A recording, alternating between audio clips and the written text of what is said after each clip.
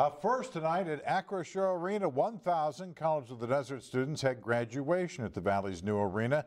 News Channel 3's Samantha Lumibao is live at Acrisure where the commencement ceremony was held tonight. And Samantha, I imagine a whole lot of excitement and look at all the balloons.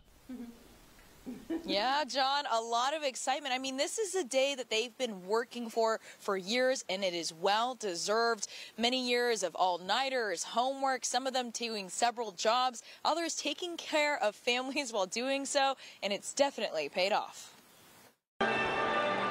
Welcoming College of the Desert's class of 2023.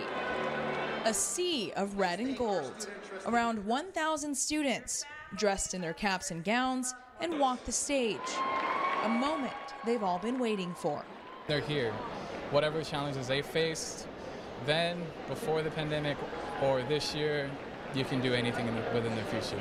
For COD class president Alan Paul, the last four years have been some of the toughest yet, but also the most rewarding.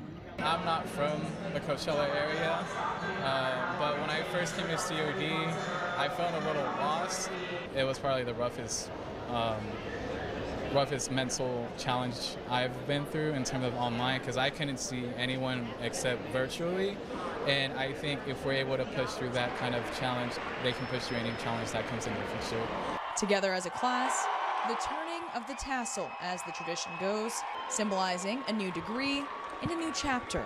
I started from the bottom here, and I'm finally making my way out, and I get to become a registered nurse which has been my lifelong goal since I was a little girl. It's been years of hard work for Arlene Zamora, on top of taking care of her daughters with another one on the way. They're everything, and I used it as my motivation to keep pushing.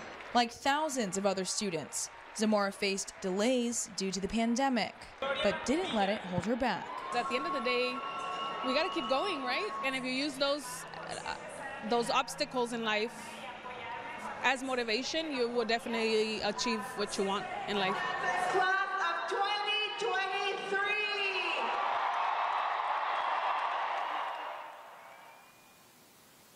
And a huge congrats to all of the graduates in the class of 2023. And it's a busy, busy week here at Acrisure Arena from turning into graduation tonight and then getting the ice ready tomorrow for game one of the Western Conference Finals. The Firebirds taking on the Milwaukee Admirals. And of course, the best local sports show will have you covered.